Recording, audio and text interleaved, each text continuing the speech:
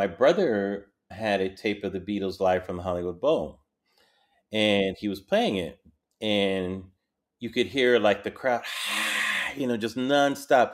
And he's playing. I'm like, what the hell is that? You know? Yeah, So right. like from the Hollywood Bowl. I'm like, Jesus Christ, listen to that reaction. And I was just taken by the reaction. You know, it really just hit me back. You know, I couldn't believe they were screaming so loud and for so long. You know, and I'm like, what's going on? Like, what did I miss with these Beatles? you know. These youngsters from Liverpool, England. The Beatles have held this title for eight years. My model of business is the Beatles. You know, they were four very talented guys. Welcome back to the Here, There, and Everywhere podcast. I'm your host, Jack Lawless. Today we're talking with the legendary comedian, writer, producer, actor, podcast, and talk show host, Larry Wilmore. Larry has written for and produced numerous classic TV shows, including In Living Color and The Fresh Prince of Bel Air, and he created The Bernie Mac Show. On top of being a creative genius, Larry has also been an enthusiastic Beatles fan for quite some time, and I'm thrilled to have him on. So, Larry, welcome to the show.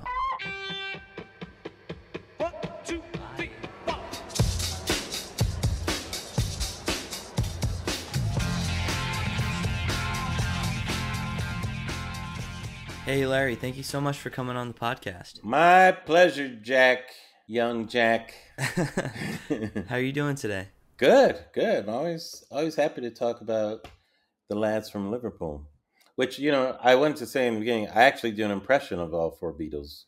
No um, way. So one of the few people. Do you really? that got got them all. Can we hear it? Sure. You want to start with that? I'm yeah, let's start it off with the impressions. Well, see, the impressions. The key to doing the Beatles is the voices exist in different parts of your mouth. You know, when you're doing it. So, like, you know, when you're doing Paul, you know, he's up there. He's kind of at the top. You know, like Paul never knows anything. I don't know. You know, I mean, who knows? I mean, it could be, but we just don't know. I mean, we're just Beatles. We're just doing the music. I mean, we don't know. Everything goes up there, you know. And then you have to come down to your nose. If you're going to do John Lennon, he's in the nose, you know. He's right there.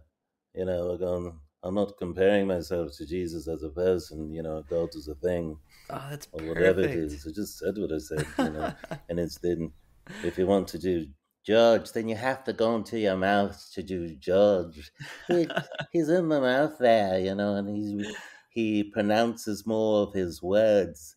He finishes the whole word, you know. I can play it, Paul, if you want me to. I don't have to play it at all, whatever it is that will please you, Paul. Oh, that's I will do solid. And then you go to the back of your throat for Ringo. Ringo's, uh, hello, lad. You know, right back there. You know, it's just an octopus's garden in the shade. oh my gosh, that was so impressive. but there you go. All. You know, I don't know. I mean, who knows? You know? I don't. It's not something we can answer. You know. oh, that's classic. Paul's always he never do the. I mean, you know, in five years, you know, we may not be able to even write songs. You know. so you must have been practicing those impressions for a long time. Nah, it just it's just something that you just I don't know. You just start doing. There you go. Oh, I can actually do all the Beatles. You know. Paul always does the middle finger scratch along the nose too. He throws yes, that in there. exactly. yeah. So Larry, how long have you been a Beatles fan for? So I have see. I grew up during Beatlemania. Okay, but I wasn't a Beatles fan growing up. They were kind of all around. I was born in like 1961, right? And uh, so as a kid, you know, I knew tangentially, if that's a word, of the Beatles, but they weren't like my parents didn't play the Beatles in the house. You know, you heard them in the world. Beatlemania was going on, but I wasn't as a kid enamored of that. I was really too young, you know. But my first image of the Beatles was the Beatles cartoon. To be honest with you, like that's my earliest memories of seeing them in the cartoon form, thinking, "Oh, that looks cool," you know. And uh, they would have the lyrics on the screen and that type of thing, you know. And uh, Yellow Submarine stands out. The only songs I remember growing up really that kind of stuck with me were probably Yellow Submarine for sure, Let It Be, and maybe Yesterday. Like that's my experience of the Beatles. They were kind of around, but I wasn't really into them. I was, you know, there was different music played in my house. I was into different things. Went through the whole '70s, you know, not really much uh, aware of it. And it wasn't until John Lennon died, actually, ironically, that maybe a year after that, or six months or something, my brother had a tape of the Beatles live from the Hollywood Bowl, and he was playing it, and you could hear like the crowd, you know, just nonstop. And he's playing. I'm like, what the hell is that? You know? Yeah, So right. like from the Hollywood Bowl. I'm like, Jesus Christ, listen to that reaction. And I was just taken by the reaction. You know, it really just hit me back. You know, I couldn't believe they were screaming so loud and for so long. You know, and I'm like, what's going on? Like, what did I miss with these Beatles? you know, and so what I decided to do, I was really struck by it. I listened to that thing over and over, and it was just, I just, you know, how you that feeling where it just kind of hooks you in, you know, and I wanted to know more, and I, I couldn't believe that I had missed all this discography, you know, that the whole experience of. So what I decided to do, oh, I saw this great documentary at the time. It was hosted by Malcolm McDowell, and what was it called? It may have just been called The Beatles, something like that. But it was great, especially in his voice, you know, Liverpool. Not much happened in Liverpool except soccer teams and, you know, until four lads came out, you know, you know, that Malcolm McDowell classic voice, you know, and just learning about not just who the Beatles were, but kind of where music was at the time, what they did to it, and all that. Watching that documentary helped me to understand the Beatles kind of role, you know. Mm. And then I decided after watching, I'm like, this thing's amazing. I decided to go start from the beginning. So I bought each album in order. oh wow! I went to the record store, found the first Beatles albums, like the early ones, and went in the order they were released. And I would listen to it over and over until I was done, and then I would go buy another one, you know. Wow. And so I went in order, and I got the experience of it consecutively. So I got to graduate through Beatle music, you know, and learn about it like and it was amazing. You know, I was so completely hooked and enthralled. It it's been full like that ever since it's never waned. That's like almost 40 years now that I've had that appreciation for it. And that so this when I was working on Fresh Prince of Bel Air, I was writing on the show. One of the writers said, "Yeah, you know, I, was listening. I heard the Beatles the other day. I'm not really into the Beatles. I was thinking of maybe checking them out. Says, do you have any suggestions? I said, yes. do I do? Start from the beginning. You know, go go from album to album. I gave him that advice, and he took the advice. I saw him like a year or so later. He said, "Oh, Larry, I wanted to tell you, I did what you said about the Beatles. Thank you." He goes, "It was unbelievable." He says, "You're right. They're they're. How did I miss this? They're unbelievable." I go, "Yeah, right. It's true." But isn't that funny? Just going through that, what it did was it gave me an appreciation not just of songs, but of their musicology.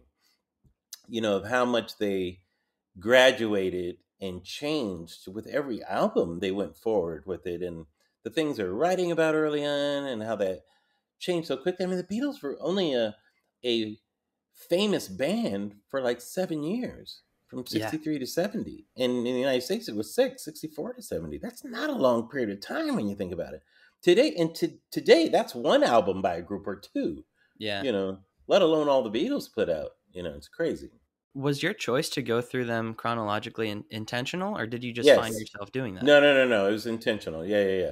I wanted to experience them, you know, and see just what it's like to experience it. And it was great because I was a blank slate, you know. Right. There were so many songs that I didn't know. But like I said, I just knew the surfacey ones that everybody knows about, you know, just the smattering ones.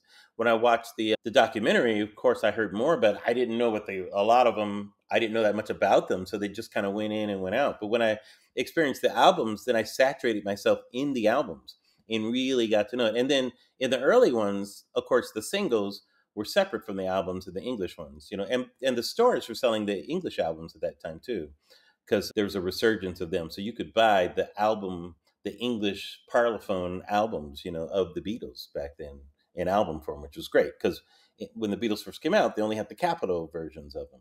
So you couldn't get with the Beatles; you had to get Meet the Beatles. But Meet the Beatles, by the way, is a fantastic album Yes. but but with the Beatles is the first thing, you know, it's the way they intended it to come out and that kind of stuff. So, but I also bought the American albums too. I did both. so this is how much of a Beatle nut I was. I bought both albums, you know, as I'm going forward. So I had both Rubber Souls, you know, and both both revolvers, you know, and you know, the here, you know, yesterday and today, that one, you know, and all the Beatles second album, which is kind of a made up thing. It's Right. such a bizarre, like patched together. Like, what do you mean the Beatles second album? What does that even mean? You know. Um, but uh, yeah, that's how I got an appreciation for their musicology, as well as just being a fan of their personalities. So. so, what kind of music were you listening to before you jumped into the Beatles? And how does that music compare to what you heard from them? Yeah, so I grew up. My father was into like everything from jazz to kind of to even Motown to Atlantic records, soul music. You know, I grew up on a lot of that. Not much rock and roll in my house, and even in my teen years, I was more into the what was happening in soul. Later on in disco, some of that, the early hip hop stuff that was coming out which we called mix music during that time, you know, where you would find breaks and you would just mix it and that kind of stuff. And, you know, everybody from Stevie Wonder to Earth, Wind and Fire to, you know, all the, you know, Parliament, you know, funk, that kind of stuff. You know, pop music, you know, was on most of the radio at the time. I didn't listen to much rock. I didn't have much of a vocabulary in rock music, even though it was most of what was played. And I went to uh, Catholic school from about fifth grade on, and so there's I was around a lot of what I'll call the white music. That's what we call the rock and roll at the time, you know. And so I had my black music that I cared about. They can listen to that white stuff, you know. Right. So that's what I considered like Led Zeppelin and all that stuff. Oh, that's that white boy shit. I didn't like listening to that white boy stuff. you know. I'm listening to Stevie Wonder. These these motherfuckers don't know what this is. so it was kind of it was almost territorial, you know, that type of thing, you know. But you would hear things like in pop music, but I wouldn't think that much about it, you know. So by by the time I heard the Beatles at that time, that was early '80s. So yeah, I wasn't listening to anything in particular, but that's kind of the road I had been on. At that time, the early rap was just starting and the 80s music was just forming. So, you know, I was into a lot of dance music from New York and that kind of stuff, I think, during that time. when you started listening to the Beatles in the 80s, was that more interesting to you than what was going on in other music at that time? Thousand percent. Thousand percent more interesting. And I think a lot of it was because of the their personalities too. You know, I was kind of taken by both of them. It was just a, a new world to me aurally, A U R. I just, you know, and it, some of it was a little bit nostalgic too at that time, you know, some of the sounds. And yeah, I don't know how to describe. I don't know why it caught me the way it did. You know, to be, I mean, you know what I'm talking about. It Yeah. just does it. It does its thing, and then you're just stuck. You know, Yeah, it's just different. yeah. And it's not like the other music of the time because I never felt that way about the Rolling Stones. You know, or yeah, a lot of music from that time feels so dated. I can't listen to it more than passing. You know, that type of thing. I'm not going to seek it out Right. you know some of it i was more familiar with the beatles but uh, you know i had no interest in continuing you know listening to the beatles have always been different it doesn't matter what mood i'm in or what's going on on the radio i can always listen to like if i fell you know? It always sounds fresh to me. It doesn't sound old. Mhm. that was 1964 you know? That's crazy. It should Yeah. sound old to my ears but it doesn't. You know, I always have that same exact thought, and and I was born in '96. Right. So all of the music that I knew growing up still sounds a lot older than the Beatles, like Oasis and all that late '90s, early 2000s music.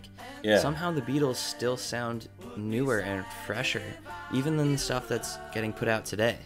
it's it's it's interesting because you can go to their work in the 70s which is kind of interesting because some of it you can listen to in some context but in some ways a lot of that feels older than the stuff they did with the beatles or feels dated Yes. in a way that beatles stuff doesn't you know and that's fascinating to me too you know the it feels the closer they were to the Beatles, like like Paul's first album, McCartney, is the best sounding album to me in terms of not being dated, but it's right when he was still with the Beatles. And the same with like George, All Things Must Pass, you know, and Plastic Ono.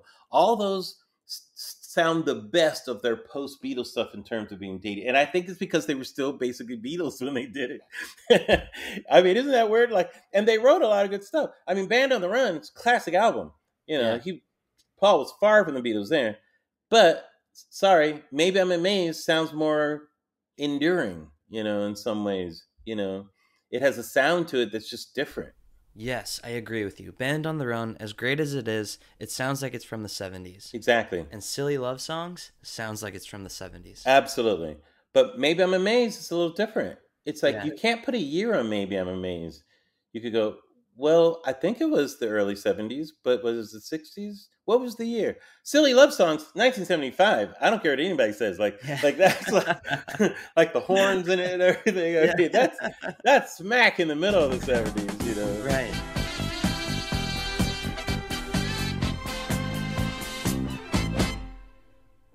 Band on the Run is very cool. Though that album is a very cool album. You know, I think it's Paul's best work post Beatles for sure. But uh, it's his most enduring album, I think.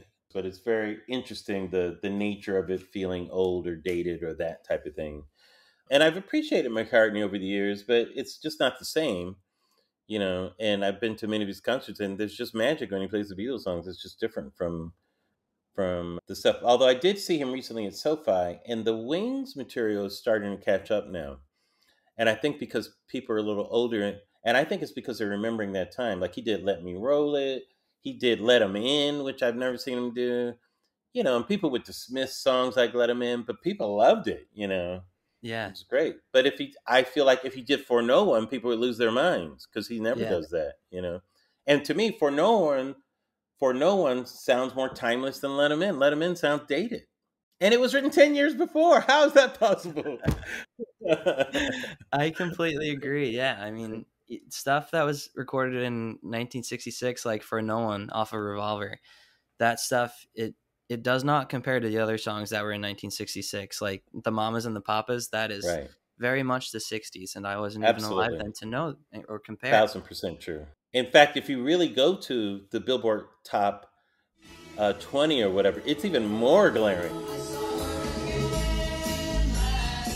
You know, when you think of because now there's a wide, you know, arra- arranging of songs and everything. So much stuff's like, man, this was old for 1966. Like, how did this get there? You know, like how, you know, you couldn't listen to that six months after that was up there. You know, so it's amazing. Like a song like Paperback Writer still sounds good to my ears. Yeah.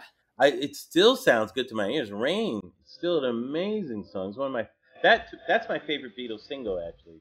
Rain. Paperback Writer, Rain. Yeah. Yeah. The the AB. When you talk about singles, what's the AB? You know, combo platter. Oh yeah. Yeah, that single's just so incredible. I mean, just Paul's bass playing alone Oh. is just so electric. In both of them. It's incredible. Yeah. So, Larry, when did you decide that you want to be a writer?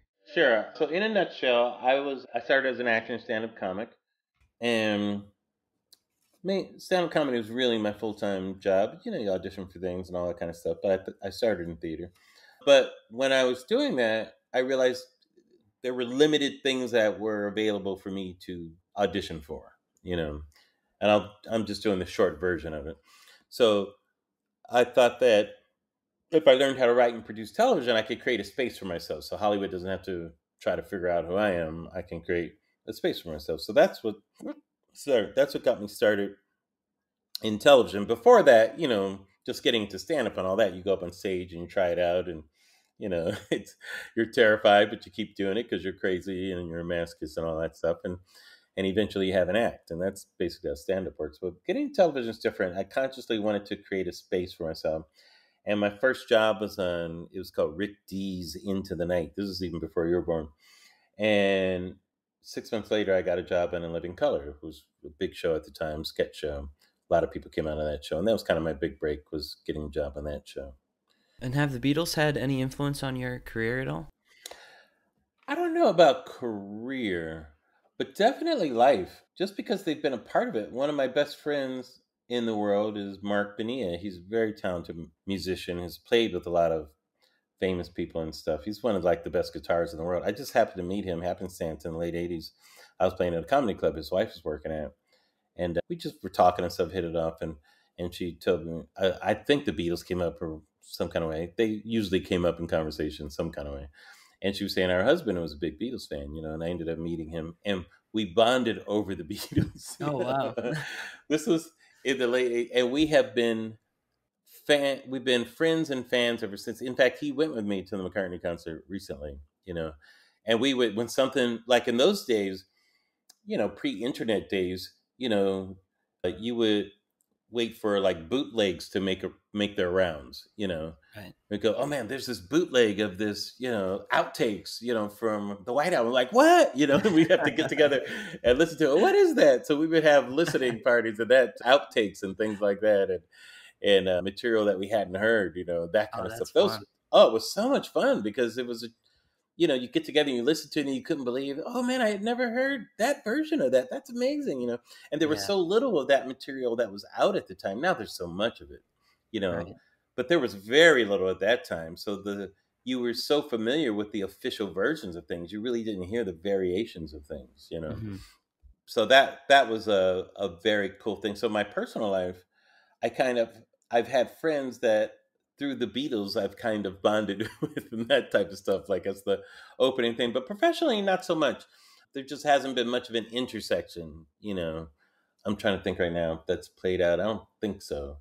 But I've always wanted to do something that has to do with that. I have no idea what it is, but you know, I just did this podcast, it's a trivia thing, and my expertise was Beatles lyrics, and they had a special guest come on, and it was Peter Asher. So I got to meet Peter Asher. And was- Oh wow. He was on video, but it was so cool, you know. yeah. And you know, that's the closest I've come to, you know, that type of thing. I saw I saw Paul McCartney at a restaurant once, No way. and I was walking by, and I was like, "Man, should I say something?" No, people say something all the time. And then I thought it'd be great to just say, "Excuse me, guys," to just say something to someone else at the table and just ignore Paul, or hand Paul a camera and say, "Could you take a picture of us, real quick?" Yeah. You know, that type of thing. Thank you, sir. I appreciate that. You know. Right. you Yeah. know, but I just didn't have the nerve. Just didn't have the nerve. You know, that's that's the closest I've come to meeting a Beatle. I guess you could say was walking walking by one. Well, I don't. I mean, I could take the pictures, but I don't know. You know, you, know, you don't know. I'm. What were you gonna say? I was just gonna say, like, I would totally love to play around with that if I knew that there was gonna be a second chance of meeting him. Yes, But if like, that was my one and only shot, I absolutely, thousand percent. Now, now there was somebody did a movie a little while ago. Was it called Yesterday? Did you see that movie? yes, yes, I've seen that. The world forgot about the Beatles or the Beatles went away like they never existed type of thing. Yeah, I find that very interesting to do something creative around Beatle things or that type of thing. Hmm. I thought was pretty cool. You know, any possibility of that in the future from you? I have no idea. I mean, I mean, I have no idea to be honest with you. I don't. I'm very idea driven. You know, I come up with ideas and then hopefully it's something. So I just I don't have an idea for anything like that. But you know, who knows? It'd be great if I did. Well, speaking about creative projects and the Beatles, you have a podcast episode where you interview one of the editors from the Peter Jackson Get Back documentary. Yes. What were your thoughts about that whole Get Back project and the remastering of the film? It was great. Now, so like it's funny because the film Let It Be, like I saw it in the theaters in this in the '80s when I was first into the Beatles too, you know, and had that experience of what it that it was so dreary watching it and everything, and you know, those were some of the first type of bootleg stuff was from Let It Be, and those is probably those Get Back sessions I remember listening to back in the day.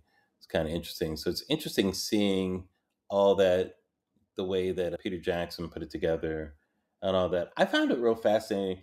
I think it's not for everybody because it's a lot of Beatles to take. That's hours and hours of Beatles. I mean, for us, it's like dessert just keeps coming. Yeah. it's like there's this movie Albert Brooks called made called Defending Your Life. I don't know if you ever saw this film, Mm-mm. but he dies and he goes to this place where they decide if you're going to move on or not. He doesn't know if it's heaven or whatever, but in this place, you can eat whatever you want and you never get full. And he's like, Hmm. "This is amazing," you know. you can eat things, and that's what it felt like watching that. Like I could watch all these Beatles and I'm just never full. I don't know what it is. I can just keep watching more. You know? But I found so many moments in there just fascinating. The coolest one of all of them was seeing Paul just invent Get Back right Mm. right on screen. I don't remember that moment in Let It Be. I didn't I don't think it was quite like that, you know.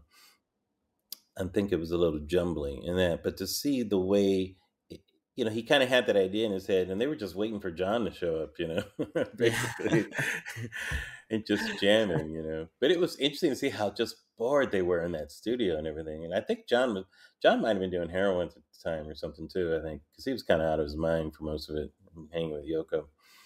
But I found it very very cool. It was like it was Christmas before Christmas, and Have you found any comparisons between their creative process and your own? Now, yeah, so the Beatles inspired me from the creative standpoint, absolutely.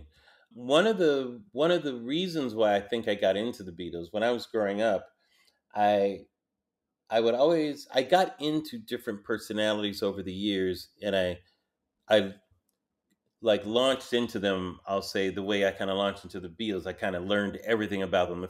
I was into magic as a kid, you know, I still do, you know, do sleight of hand, that type of thing. And the first personality that I kind of attached to as a kid was Houdini. You know, I was like, how could somebody be so big? This is crazy. You know, I mean, his word is like an adjective. You know, it's a common word. You know, so I I read everything I could get my hands on about Houdini when I was growing up, and after that it was the Marx Brothers. You know, they were just so funny to me. I just couldn't believe that they could be so funny. I wanted to know everything about them, and their films. In college, Buster Keaton was one. I'm still a huge Keaton fan. And then it was the Beatles, you know.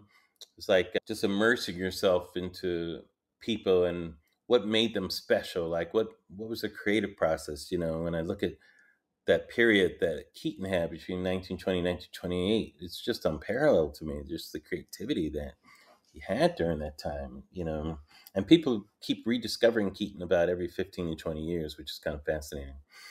But Houdini will be rediscovered again also. He's kind of dormant right now, but he had a genius for marketing. He's the like people think like with Instagram and social media and all that, you know, you know that their genius is the marketing. Houdini was a genius before anybody was a genius about self promotion and all that stuff, and he backed it up with like just being really, really good at what he did. You know, so when I look at the Beatles, especially, and I look at their musicology, it's very inspirational in terms of a combination of always wanting to push in another direction, do something different, not repeating yourself.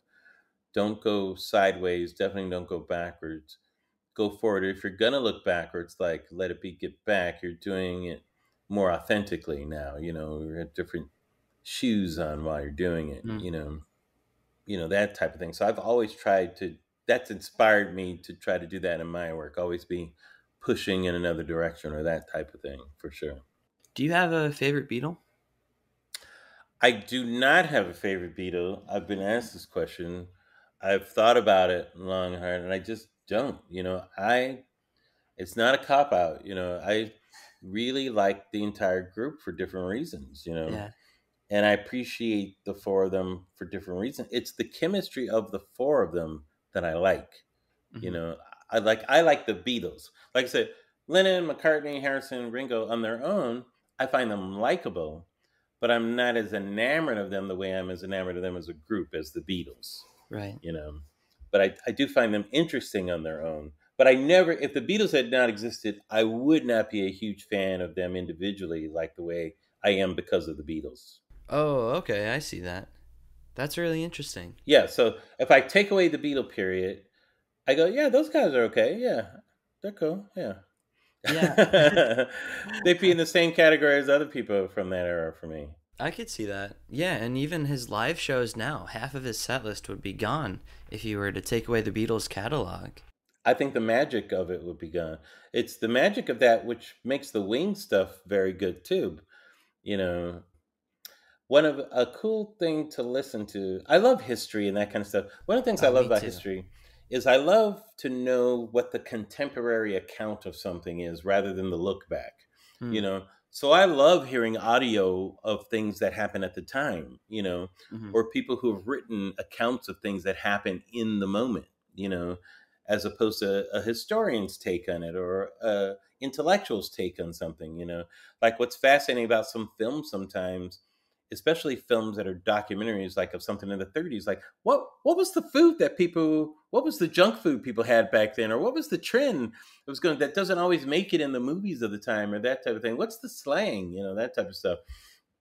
And uh, one of my favorite things to watch is seeing the film of I think it's Wings Across America or when Paul was first first playing the Beatles songs in concert.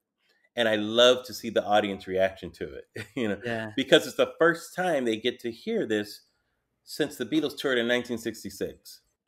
You know, so it's been a good 10 years just about almost, you know. And they lose their mind when he goes into yesterday, you know. But just the first and they don't people don't I love to see the early ones. There's like a there's also concert footage from the early parts of the tour, like in Australia and that type of thing. So people don't know what's coming up. They don't know what the set list is. It's not like today. It's it's published on the internet or whatever. Right. And so, you know, he's doing all the wing stuff and, you know, it's it's good and it's popular at the time because it's on the radio. But then you hear him he goes into Lady Madonna, you know, just, and they lose their minds because what? Yeah. Wait, we're getting Beatles stuff tonight. What the fuck's going on? You know, and I love hearing that. You know, it's very exciting to still hear. And then, you know, going into Blackbird, they just they're just done. You know, Yeah. following it up with yesterday, you know, and then he doesn't do anymore after that, you know. But but I love listening to that for the historical aspect of it to see how people reacted to the first time an ex Beatle was really doing Beatles songs. That's a know. really interesting 'Cause they- lens. because they kind of shied away from it. They didn't want to, you know, it wasn't, you know, there was kind of a bitter breakup, and you know, you know, you might seem like, oh, well, that's all you have is that Beatles stuff to do. 'Cause, you know, I mean, now it's like ridiculous. How? What do you mean you're not going to play that Yeah. stuff? You know. I saw Paul in his Flowers in the Dirt tour in 1989, I think 1990 oh, how was that? and that was that was a great period because like he still had a lot of strength in his voice then too and he wasn't shy about doing beatles stuff then either you know and flowers in the dirt actually had a lot of great stuff in it he he wrote some stuff with elvis costello and that type of thing so that's pretty cool and but he did he did songs like things we said today which i'm like yes you know you never get to hear something like that a beatles song live. You know, I don't think he's done it since. So I got to see him do that on stage. You know, and they did a little different thing with the ending and everything. It's pretty cool. Oh, I gotta check that out. You know, another great piece of like contemporary views is there's this clip from the show American Bandstand from like 1967, like a month before the Beatles released Sgt. Pepper. Mm-hmm. And there's this group of American teenagers reacting to like the brand new songs Strawberry Fields Forever and I Penny love Lane that. Love that. and the audience was split. Like half were thinking it's cool and it's you know it's the coolest thing they've ever heard, and the other half were saying like, "Oh, the Monkees are better," and I'll never pay to see the yes, Beatles perform. exactly. It's just so Exactly. funny to see those views. What'd you think of that? That is great. What did you think? I don't like their hair. Their mustache. You didn't dig the mustaches, huh? What did? What was your comment? I don't know. They look they look older, and it ruins their image, really. hmm How did you feel? That was funny. And you? I liked it. They're ugly. their mustaches were weird. How about back here? I think they went out with a twist. Look like grandfathers or something. So, man? Look like somebody's grandfather. I love that kind of stuff. You know, Phil Collins, who was actually in the movie Hard Day's Night, he was one of the kids in the audience. He talked about when, you know, he couldn't be a bigger Beatles fan than he, you know, and he was like inspired to be a musician himself. So he said when Rubber Soul came out, he thought the Beatles just were crazy. What are they doing? They just lost their mind, you know. what is this? I what is this crap that I had to buy? And he said within a week he couldn't do without it. He could not do without it. That's how it didn't take very long at all for him to not be able to do without it. So that's very interesting. Hey, uh, can I get your opinion about this? What is it that makes the Beatles always relevant and always contemporary? I don't know. It's a good question, Jack. I don't know if I have an answer for that. You know, I don't know if it's enough to say it's the alchemy of, you know, I mean, it certainly is one plus one plus one plus one equal a hundred, you know. Yeah. But it's I wish I could pin it down, right? He says, Well, if he knew that we'd be managers, you know. as, as John would say. I mean, he kind of tried to answer it from the beginning, right? Right. I mean, they kind of answered answer. that question. We've been managers. Yeah. Uh, you know, yeah, that news conference has all the answers. Uh, Yeah. I had one yesterday. No, it's Yeah. true. We had one yesterday. We all do. They're saying you're Uh, the British Elvis Presley. That's not true. it's so funny because one of my favorite films that mocks all of that is The Rutles. Now, I'm sure you've seen The Rutles, Yes. right? Yeah. The Rutles is brilliant. And Eric Idle made that in like 1978. You know, that's how long ago he made The Rutles. And it still holds up, you know. And in fact, the narrative of The Rutles, Rutles is a lot like the Malcolm McDowell thing that actually came after The Rutles, which is kind of ironic, though I don't think you watched it. But just the way he's so dramatic in his proclamation of, you know, the Beatles thing. And just the songs like ouch instead of Yeah. help. ouch, ouch, ouch. or hold my hand, yeah, yeah. Yeah. yeah, yeah. I mean, it's so funny. And what's funny about it is that it lampoons it, but the Beatles music doesn't suffer as a result of the lampooning. Because so, some things that get lampooned never recover from the lampooning of it. Hmm you know and that didn't happen with the beatles. The lampooning of it didn't have an effect on it at all. Yeah, it's it's very very very curious. yeah most things are cannot survive a lampooning. Like they're not the same afterwards once you stick a pin in it and just and deflate it. But it eh, no it's not you know. I don't get it. I don't understand it. I honestly don't you know. I mean a little bit of sinatra kind of stands the test of time in some ways. You know sinatra kind of i mean when you think about it, the people that had that type of thing like frank sinatra maybe bing crosby you could argue but frank sinatra had the bobby soxers and the girls went crazy and that type of thing after him it was elvis was the next thing you know it's kind of happened like almost every decade sinatra in the 40s elvis in the 50s and the beatles in the 60s i feel like the 70s maybe the gees i mean i don't know. In a sense michael jackson in the 80s certainly had the beatles kind of thing you know. 90s i'm not sure. You know i'm not sure if there is you could maybe beyonce has had that type of thing to some extent you know but it's kind of rare where you have you're that group or that person that you're just at the top in terms of the fascination from the audience and it's kind of you're in a place by yourself type of thing you know but why the beatles endure is beyond me because all the people that i mentioned still don't hold a candle to all the beatles music that there is you know Yeah, and it came out in such a short period of time too. Yeah. All these other artists were making music across a span of decades, which is still something that's really crazy to me. exactly Larry, what have you been up to recently? Are you involved in any projects right now? well i'm putting out a new beatles record no Um, What's it called? it's, it's called tomorrow now knows you know we thought tomorrow would never know but we find out that we've just learned that tomorrow actually now knows so tomorrow is going to tell us all the information we wanted apparently we wanted to know from tomorrow so by the way i don't know if you were a mad men fan you're Oh, kind of young when that came out but you know the episode where don draper plays tomorrow never knows at the end of the episode i mean i don't think that song has ever sounded better than on that episode of mad men i mean Yeah.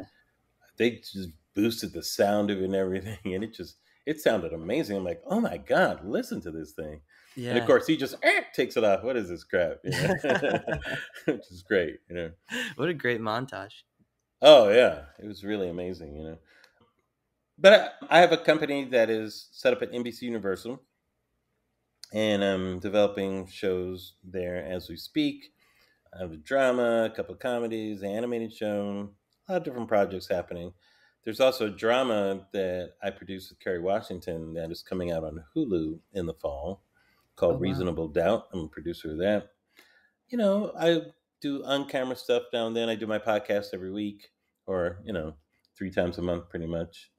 And I'm in a movie called Jerry and Marge Go Large right now on Paramount Plus, where I'm acting alongside Bryan Cranston and Annette Bening, which is a lot of fun. So I mix it up with the things that I'm doing, interested in, and that kind of stuff. Probably be doing a little bit more in front of the camera again, probably in the next year or so. Nice. Yeah. So there Oh, that's go. exciting. I'm looking forward to seeing that. Thanks, Jack. Well, Cool. it was nice talking to you about this Beatles stuff. Yeah, Larry, thank you so much for coming on, man. It was really an honor talking to you. The honor was all mine, you know, and you know, who knows? You go into someone's office, probably yours, Jack. You know, and you talk about these things. I mean, I don't know when this podcast comes out. That's what he calls it, you know. But who knows? you know, I mean, five years, there may not be a podcast. You, know, you don't know. Sorry, had to leave you there. These youngsters from Liverpool, England. The Beatles have held this title for eight years. My model of business is the Beatles. You know, they- they were four very talented guys. Thank you all for listening to another episode of the Here, There, and Everywhere podcast. I'm Jack Lawless. Thank you, Larry, for coming on and for all of your humor and stories. Everybody go follow Larry on Twitter and go check out all of his projects. The links to everything will be in the podcast description. As always, I will see you next week.